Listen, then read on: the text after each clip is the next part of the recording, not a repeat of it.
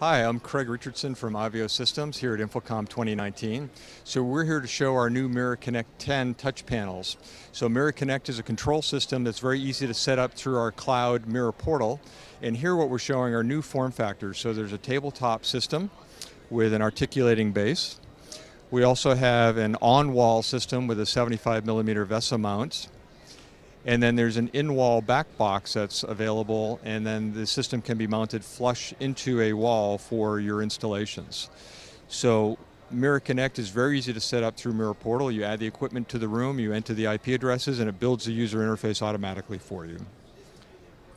So thank you for uh, joining us at Aveo Systems, and you can learn more at aveosystems.com.